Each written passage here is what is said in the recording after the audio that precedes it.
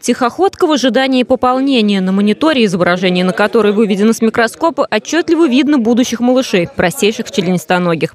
За ними наблюдают в лаборатории городских очистных канализационных сооружений. Эти микроорганизмы – главные ответственные за чистоту стоков. Она в активном сейчас, в хорошем состоянии. Они показывают определенное состояние. Некоторые простейшие, они должны быть в большом количестве, а другие простейшие, которые есть, они должны быть в малом количестве. Мы сообщаем, добавляют либо кислород, либо активный ил, еще добавляют в аэротенки именно. Биологический этап очистки воды происходит в аэротенках.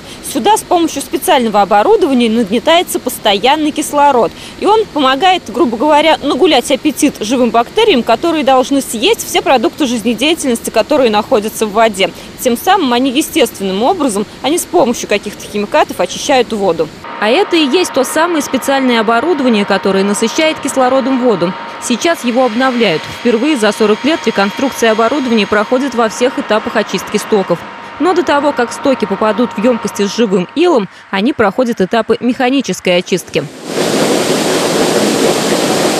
Бытовые канализационные стоки со всего города стекаются в приемную камеру. Из нее они попадают в песколовки, где под действием центробежной силы удаляются крупные загрязнения. В канализацию люди умудряются смывать даже тюбики от шампуня и бутылки от йогуртов. Мелкие частицы оседают на дно в отстойниках, и только потом стоки попадают на обед микроорганизмам.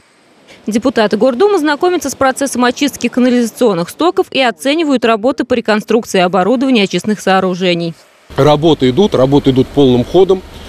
Э, даже в зимний период э, строятся новые очистные сооружения. Поэтому мы думаем, что в экологическом плане мы можем быть спокойны.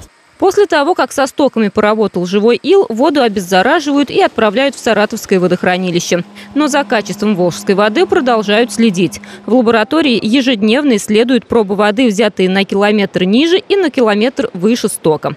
Марина Матвеевна, Константин Головин. События.